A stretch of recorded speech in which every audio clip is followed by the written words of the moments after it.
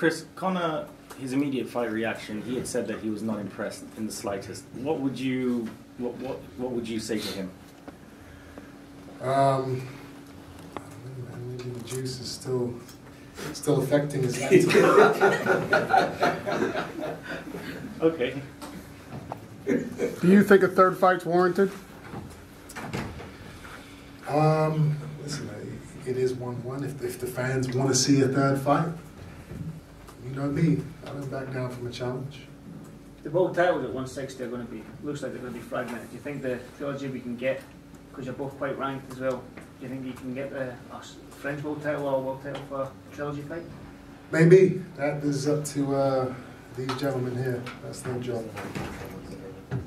Okay, I'll ask them then.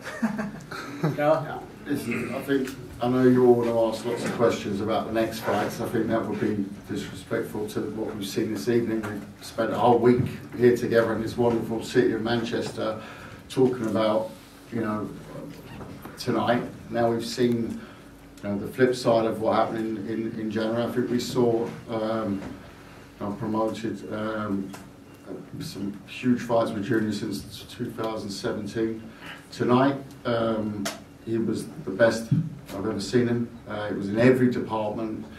Bomac has managed to put together all those those different strengths of his, and it was fantastic. At the same time, Liam, you know, what a what a fighter, what a warrior. Uh, takes two to tango. Um, it was his night in January. You know, that's boxing. Boxing is an emotional sport. I don't think. I think it's I don't, tonight. And I'm not just saying this because it's quarter past one. I want to get out of the about answering the difficult questions, but there is no plan right now. We're going to enjoy celebration, um, like Liam enjoyed his celebration in January, and um, Monday morning 9 a.m. We'll, we'll, get cracking. But right now, um, congratulations also to, to, to, Liam for his, his part in all this. And, and like I said, we saw, I think, the best Chris Eubank Jr. Uh, that we've ever seen tonight. And uh, amazing, amazing media support all week and fantastic atmosphere as always in Manchester. Chris, would you also say that was the best you've ever been tonight? I felt good. You know, I didn't eat for a day and a half before, but um, aside from that, everything went everything went to plan. You know, uh, it, it, was a good performance. I did what I was supposed to do.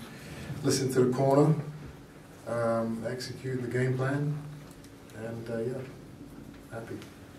And there were a few times during the fight, like uh, between rounds, when you spoke to each other before going back to your corners. Can I ask what kind of things you said during the, to each other during the fight itself? Um, yeah, not right now. Any other questions? Last one. Yeah, I've got a question. Ah.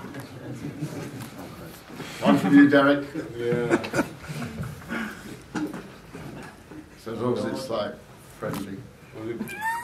Are you all waiting for the question? Yeah. yeah. you asked, a question, so here's your plan. Yeah. believe me. Delicious TV. you believe me. Delicious TV. Come on, baby, you've got the best questions. Right, no questions. It's 1.15, we're done. Thank you very much.